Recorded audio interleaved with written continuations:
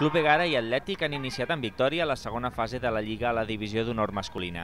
Els grocs i negres han derrotat a domicili el Club de Campo per 2 a 3, mentre que els del Pla de Bonaire han superat in extremis per 2 a 1 al júnior. No ha estat un bon partit dels de Patricio Quinan, que per aquest partit no ha pogut comptar amb Edi Tubau ni amb Vicent Ruiz, lesionats. Guillem Fustagueres ha disposat de la primera gran ocasió per a l'Egara, però el porter, Quico Cortés, ha hagut d'intervenir en dues accions consecutives a xuts de Guillermo Barbeito primer i d'Edu Garriga a continuació. Els terrassencs se'ls ha anul·lat un gol abans que els júniors s'avancessin al marcador.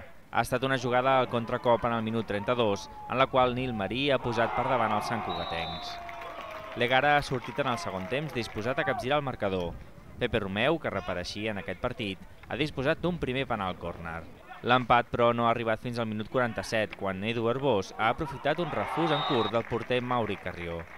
Els ratllats han seguit buscant amb insistència la porteria visitant, però no estaven encertats en el penal. Amb el temps complet, però, Romeu ha fet el gol de la victòria en el cinquè i darrer penal. Sí, bueno, ellos salieron a jugar de, de, una manera un poco replegados, que a nosotros nos cuesta un poco jugar contra estos equipos.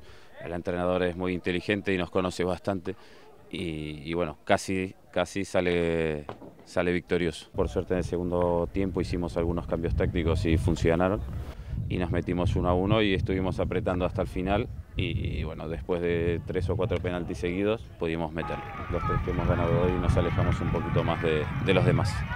Polo i Club Egara continuen liderant la classificació amb 9 punts, seguits de l'Atlètic amb 8. Diumenge arriba un altre clàssic, aquest cop a Can Sales.